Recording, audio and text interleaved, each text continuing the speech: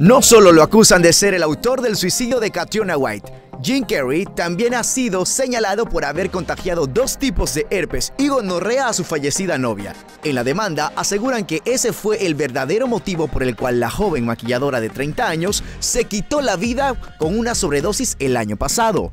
La denuncia fue hecha por Mark Burton, ex marido de White, Incluso acusó a Kerry de haberla presionado para que guardara silencio sobre estas enfermedades de transmisión sexual. Y ella, deprimida, le escribió una carta al actor diciendo que se sentía como mercancía dañada y que sería imposible reiniciar su vida sentimental tras la ruptura. La semana pasada se supo que Burton demandó al actor de Yes Man de adquirir drogas ilegalmente y supuestamente suministrárselas a su difunta novia. Ahí está la información del señor Jim Carrey que no se ha pronunciado a, desmentir esto. La semana pasada lo único que publicó era como que pedía respeto para Catriona para que ella pudiera descansar en paz y que dejaran de perseguirlo a él y a su dinero porque no iban a ganar nada con ello.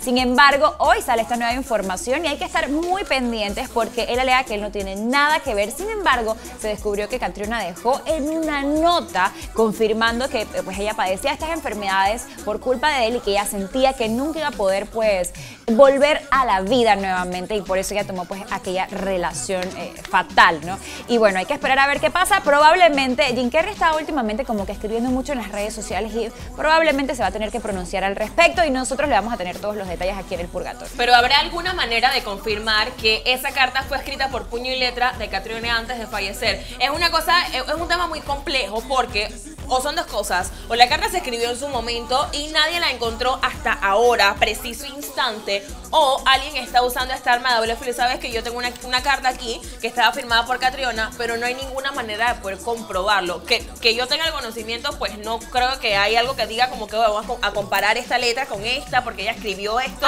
y podemos saber qué pasó. Hay también otra manera pues de poder ver, verificar si eso era así. Me imagino que tiene que ver más que nada con, con eh, asuntos médicos, cuando fue el momento en que ella falleció, que se hizo entonces eh, la autopsia para ver qué era lo que ella tenía, probablemente eh, salía todas esas cosas. Entonces, si de verdad es eso, hay que verificarlo, estar muy pendientes, pero si no lo es, la verdad es que entonces Jim Carrey lo que tiene que hacer es manifestarse y decir, ¿sabes qué? Yo soy inocente, esto no fue así, y entonces aclarar todo, porque aquí está pues jugando mucho con el nombre del, artista, del actor. Y como lo dice Laura, es sumamente delicado. La demanda, todo el mundo se preguntará, pero si ella falleció, ¿quién rayos puso la demanda? La demanda la puso el ex esposo de Catriona, quien él alega pues que Jim Carrey fue el que le consiguió los fármacos con los que ella se quitó la vida. ¿Y él cómo sabe? Y él presume debido a unas recetas que salieron a la luz pública que tenía Catriona aparentemente. La verdad es que Jim alegó, él, lo, hizo público, él dijo,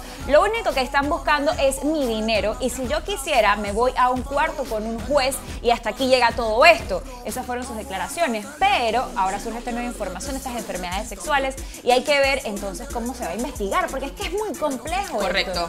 Bueno, vamos a ver qué pasa. Aquí vamos a estar pendientes de cómo se desarrolla esta información para poder compartir con todas ustedes y que hasta notas se dejó crecer la barba.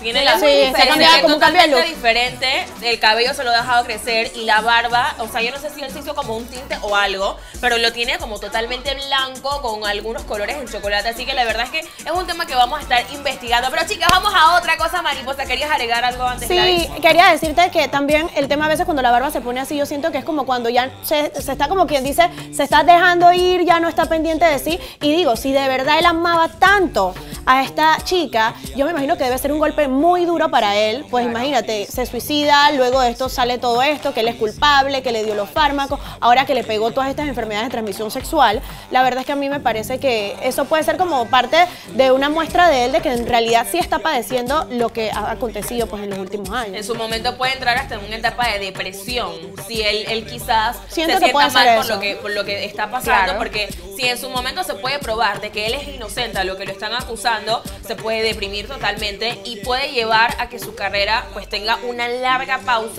en cuanto a lo que es la actuación y demás. Así que vamos